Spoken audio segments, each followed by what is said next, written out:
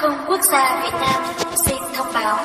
Vì an toàn, xin quý khách lưu ý tắt điện thoại di động, máy nhắn tin, các loại máy thu phát sóng FM